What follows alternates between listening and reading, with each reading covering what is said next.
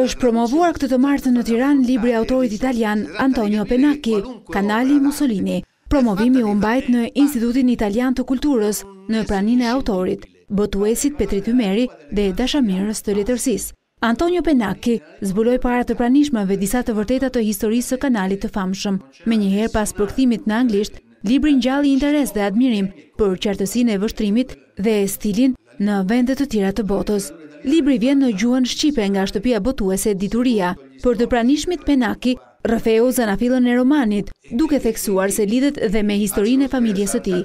Historia fillon në vitin një mijë e nëntëqind e njëzet e gjashtë me njërin prej trashëgimtarëve të familjes Peruçi, që ishin argatë venecianë në fund të shekullit të nëntëmbëdhjetë, kur një fis i tërë fshatarësh nga veriu vijnë në Agro Pontino për të punuar në tharjen e kënetës.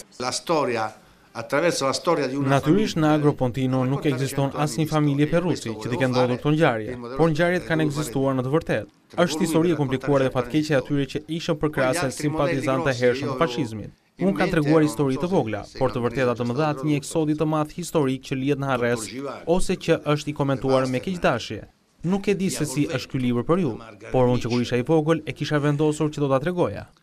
Përtej kontekstit historik në bonifikimin e kënetave Pontine, si një prej projekteve ambicioz të Musolinit, në romanin Kanali Musolini, zbulohen personazhe interesantë, me një humor dhe ironi të hollë, Autori shkruan se ç'ishte fashizmi, cila ishte Italia e vërtetë e viteve tridhjetë dhe se si mund ta njohim Duçen ndryshe. Antonio Pennacchi, i lindur në vitin një mijë e nëntëqind e pesëdhjetë, ka qenë edhe pjesë aktive e disa partive në Itali, shpesh kontradiktore me njëra-tjetrën.